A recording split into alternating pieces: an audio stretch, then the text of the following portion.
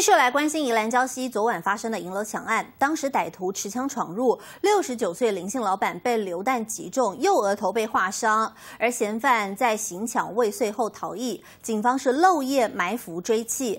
今天中午，终于在嫌犯花莲的住家外逮到人，而这间银楼却是在短短十五年内被歹徒光顾了三次，也让附近住户直呼太倒霉了。为什么要开枪啊？为什么要开枪？为什么伤人？头戴帽子，全程低头不发一语，在警方围成的人墙中快速钻进车内。这名红衣男子就是犯下六号宜兰礁溪银楼抢案的歹徒。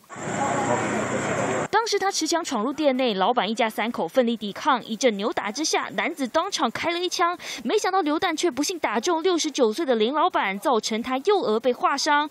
宜兰警方获报后，沿线调阅监视器，跨区追缉。七号中午，趁着嫌犯外出时，在嫌犯花莲的住家外，白府警力一涌而上，将他逮捕到案。那目前，呃，搜索行动仍在进行当中，那持续会理清相关案情。这名歹徒相当狡猾，早就规划好逃逸路线。抢劫未遂后，先是以徒步的方式逃逸，再换成偷窃来的机车，不断在礁溪乡内的小路乱窜。途中还一度变装，企图制造断点，躲避警方追查。不过最后仍狼狈落网。